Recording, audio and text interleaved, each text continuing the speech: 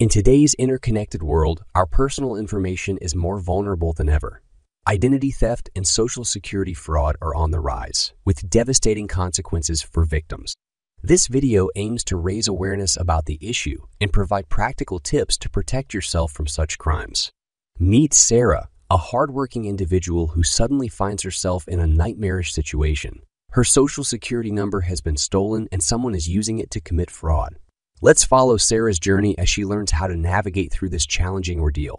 The first sign of trouble for Sarah was when she received suspicious letters from unfamiliar financial institutions and credit card companies. Sarah worried. What is happening? I never applied for these. Sarah's mind raced with questions, and she quickly realized that her personal information had been compromised. Sarah decided to take immediate action to protect herself and reclaim her identity. Here are the steps she took, and you can too. Contact authorities. Sarah immediately reported the identity theft to the local police and the Federal Trade Commission. FTC through their official website. This step is crucial to create an official record of the incident. Notify credit reporting agencies. Sarah contacted the three major credit reporting agencies, Equifax, Experian, and TransUnion, and placed a fraud alert on her credit reports. This alert notifies potential lenders to take extra precautions when granting credit in her name. Review financial statements.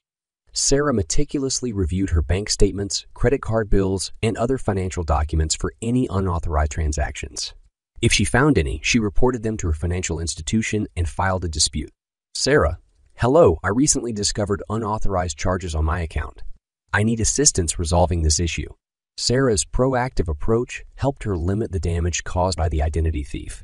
But her journey was far from over.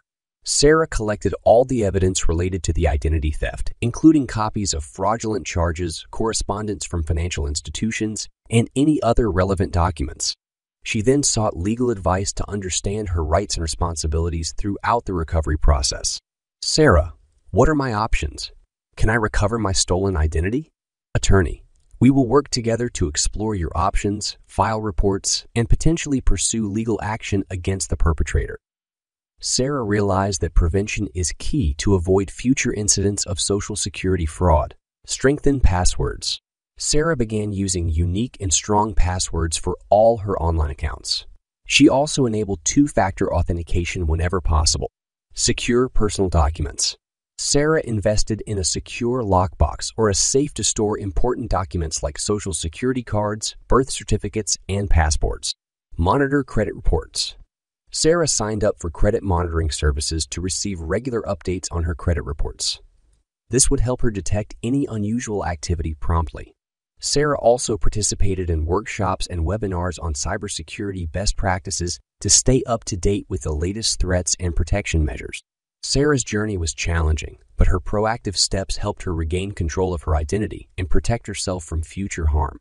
Remember, it's essential to be vigilant and take immediate action if you suspect Social Security fraud. Together, we can protect our future and build a safer digital world.